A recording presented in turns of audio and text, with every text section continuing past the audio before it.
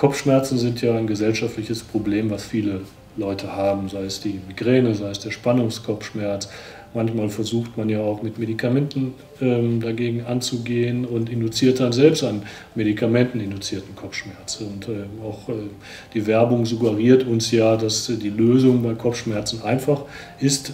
Das ist leider nicht so. Ich freue mich, dass, dass wir uns über das Thema austauschen und dass wir nachher dann mit äh, Frau Dr. Gendolla, langjährige Leiterin des Westdeutschen Kopfschmerzzentrums, jetzt in großer eigener neurologischer Praxis in Essen tätig, hinzuschalten arbeiten können.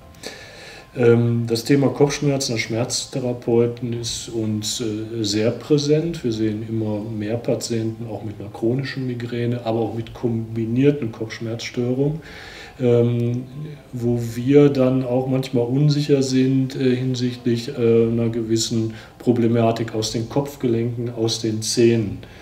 Ich kann mir vorstellen, dass man als Zahnarzt diese Patienten dann ja auch sieht.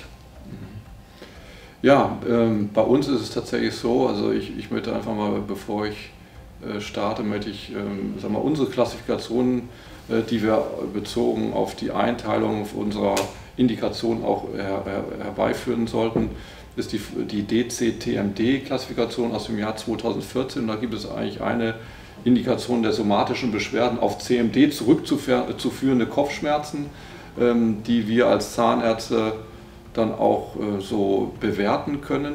Und da ist es tatsächlich so, dass wir bei vielen Patienten, die ähm, ja, stark mit den Zähnen knirschen, also einen starken Bruxismus aufweisen und ähm, sehen wir tatsächlich dann im, im, auch bei, palpatorisch bei, den, bei der Muskulatur Schmerzen und was sich dann auch im Kopf-Gesichtsbereich dann als Schmerzen dann darstellen kann, ähm, sehen wir, wie gesagt, bei diesen Patienten, die stark buxieren, äh, dass die auch ähm, die, die Zahnhartsubstanz sehr stark zerstört haben. Also wir sprechen davon nicht kariös bedingten Zahnhartsubstanzdefekten, die möglicherweise dann auch das, ja, die Ursache mitunter für, diese, für solch ein Beschwerdebild sein könnten.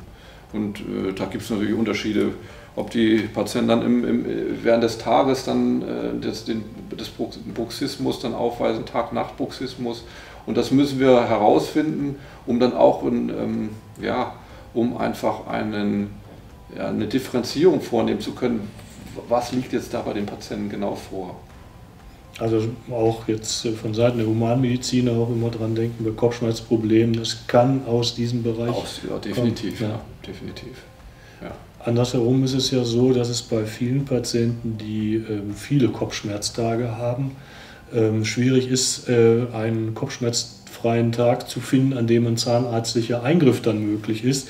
Und der soll auch noch dann äh, keinen äh, Kopfschmerz triggern oder hervorrufen. Gibt es da irgendwelche von Ihrer Seite äh, Maßnahmen? Ich kann mir vorstellen, das kann man ja eigentlich gar nicht richtig organisieren. Das ist, äh, wie gesagt, das ist schwierig organisierbar. Ich, ich würde es, äh, ich hatte es ja schon eingangs gesagt, aber ich würde es bezüglich der Behandlungszeit bezüglich der Behandlungsintervention versuchen zu organisieren und auch in Absprache mit dem Patienten zu organisieren, wie, wie die Situation jetzt äh, für den Patienten, für die Patienten jetzt im Rahmen der Behandlung sich darstellt. Das ist eigentlich elementar. Was sicherlich auch wichtig ist bei einem Arzneimittel äh, induzierten Kopfschmerz, wo Entzündungshemmer oder Mischpräparate häufig eine Rolle spielen, wie gestalte ich die ähm, ja, postinterventionelle Schmerztherapie bei diesen Patienten. Äh, ja, möglicherweise, ist es, ähm, möglicherweise ist es auch positiv, äh, Postintervention, physiotherapeutische Maßnahmen, Eigentherapie des Patienten anzuordnen, anzuweisen, zu initiieren, vielleicht auch schon präoperativ, mhm. möchte ich mal sagen, dass äh, um dort eine minimale Reduktion der, der, der Schmerzen dann zu, zu resultieren und hervorzubringen. Das wäre auf jeden Fall äh, sinnvoll und auch äh, angezeigt aus meiner Sicht. Wie bei hm, allen chronischen Schmerzen, auch Kopfschmerz sind ähm, Phänomene, wo man ja bei einer ganzheitlichen Betrachtung äh, nicht nur ähm, ja, das, das eigentliche körperliche, dann auch die seelische, soziale Situation mit betrachten muss. Und äh, das ähm, schließt ja auch andere Schmerzpatienten mit ein. Und äh, jemand, der Schmerzen hat, Schmerzprobleme hat, auch der nur Zahnschmerzen hat, der ist psychisch nicht so gut drauf wie jemand, der es nicht hat. Und äh, äh, da ist, glaube ich, auch diese Ebene vielleicht wichtig, äh, dass man die mit bedient. Äh, ich glaube, viele Zahnärzte machen das ja auch mit, mit Musik, vielleicht mit Kopfhörern, dass mhm. da ähm, äh, auch ähm, Entspannung äh, eine Rolle spielen kann, die den Patienten dann irgendwie auch durch eine vielleicht nicht ganz so un, un, äh, eine unangenehme Situation bringt. Ja, also äh, es ist natürlich schon so, dass die Patienten sich nicht unbedingt zwingend wohlfühlen auf dem Zahnarztstuhl ja. oder, und dass man durch solche Maßnahmen ähm, bring deine Lieblingsmusik ja, mit und, und, und genau.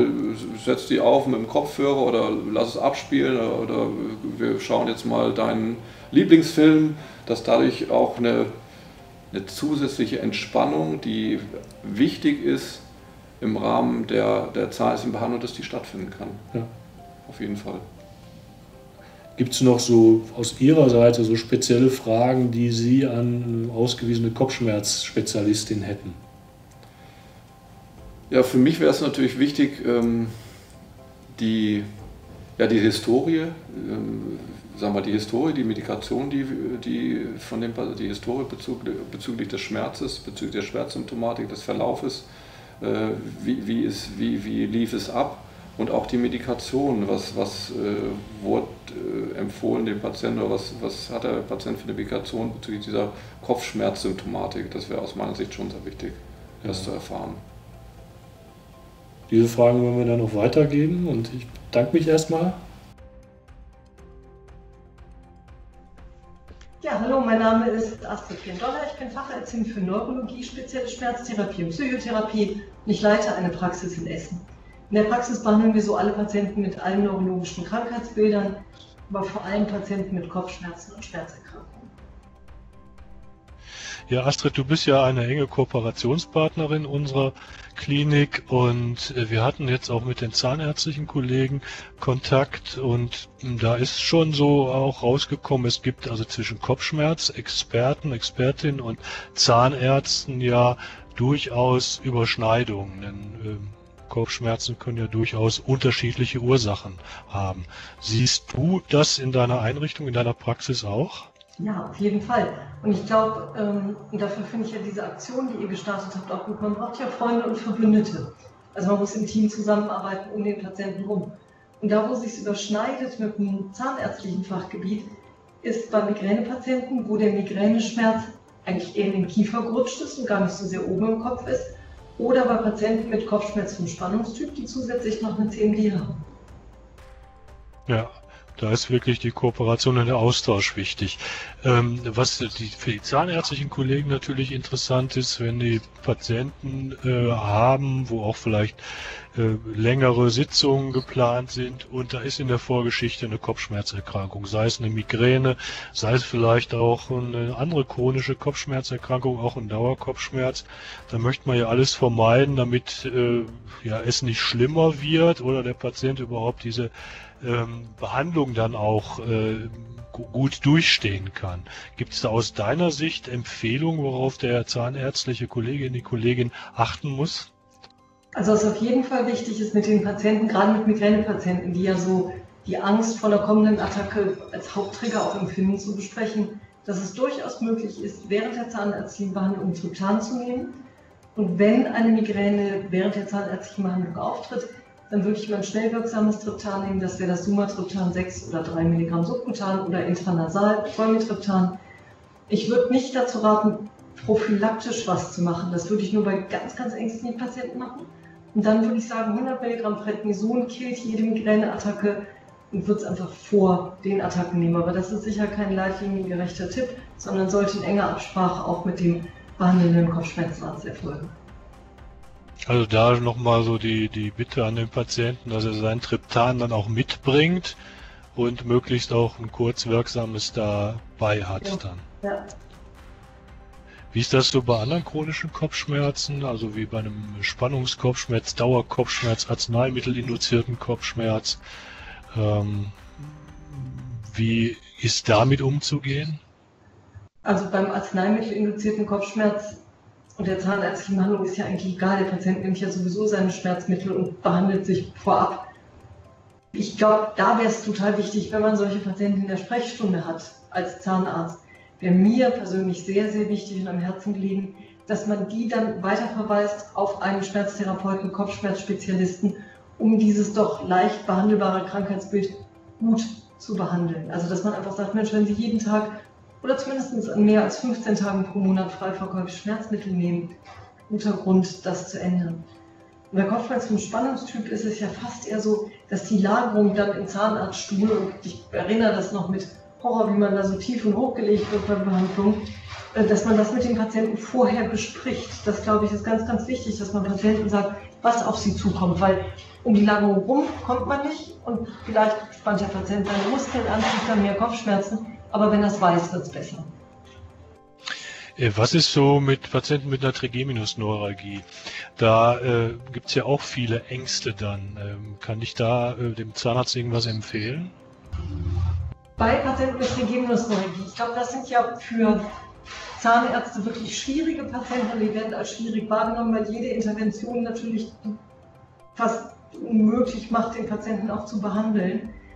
Da würde ich wahrscheinlich kurz vorher wirklich hochdosiert mit einem Schmerzmedikament abdecken, vielleicht entweder wenn der Patient es gut verträgt, über ein Sulfon. Ich glaube, Ultima Ratio würde ich sogar auch immer nach Absprache mit dem behandelnden Schmerztherapeuten zum Opiat greifen, einfach um das in der Phase abzublocken, wo man ähm, einfach die zahnärztliche Behandlung machen muss, weil die muss man ja machen und die kommt ja auch der Patient mit Trigeminusneuralgie nicht rum. Und auch da, glaube ich, ist das Wichtigste zu sagen, ich mache das schnell wie möglich, ich erkläre Ihnen, was ich tue und dann geht das auch gut rum. Gibt es aus deiner Sicht noch irgendwelche Tipps und Tricks für den Zahnarzt? Wie ist das, wie ist das, also wir sehen da immer wieder Patienten, die mit äh, Kopf-Gesichtsschmerz kommen und zahnärztliche Eingriffe schon hatten. Da ist ja äh, häufig der, der, der Wechsel von Füllungen, weil der Patient denkt, dass, äh, dass seine Kopfschmerzerkrankung damit irgendwas zu tun hat oder äh, andere Zahnbehandlung bis hin zur Extraktion. Die siehst du sicherlich auch, diese Patienten. Ne? Also was ich glaube ich, sehr wichtig fände von meiner Perspektive, was ich Zahnärzten gerne mitgeben würde, wäre, achten Sie auf Menschen, die, nein, also was mir wichtig wäre, und ich glaube, das tun Zahnärzte eigentlich auch, sehr wachsam sein, wenn ein Patient kommt und sagt, ein bestimmter Vorbehandler hat das und das nicht richtig gemacht, man wechselt jetzt extra zu diesem zahnärztlichen Kollegen, um wieder einen Zahn zu extrahieren, um wieder eine Füllung zu ändern. Das sind ja meistens Patienten, die ein Zahnarzt-Hopping betreiben, dann durch diese multiplen Interventionen dann einen Differenzierungsschmerz entwickeln, dann, was wir so sagen, atypischen Gesichtsschmerz entwickeln, wo sich das Areal am Anfang sehr, sehr klein darstellt, im Gesicht später immer größer wird. Und meistens haben die einen Potpourri von Kollegen so schon durcherlebt. Und ich glaube, die Patientin, die mir am meisten in Erinnerung geblieben ist, war eine damals 21-jährige Patientin, die überhaupt keinen eigenen Zahn mehr im Mund hatte, weil sie eben sehr manipulatives Verhalten hatte, allen Zahnärzten gegenüber dann bitte noch den nächsten Zahn zu extrahieren. Das war ein ziemlicher Albtraum. Und das, da sind wir uns ja alle einig, geht nicht alleine zu behandeln. Da braucht man Psychotherapeuten, ärztliche Kollegen, die psychosomatisch arbeiten. Das geht echt mit dem Team gut zu behandeln. Ja, vielen Dank. Ich glaube, das sind schon mal gute Anregungen und auch ein guter erster Aufschlag für die weitere Zusammenarbeit und engere Zusammenarbeit mit zahnärztlichen Kollegen. Ja. Und ich glaube, dass ein kurzer Draht immer gut ist, so wie wir das haben. Einmal kurz den Hörer hochnehmen, einmal kurz eine Mail schreiben. Und dann kann man sich gut austauschen im Sinne des Patienten.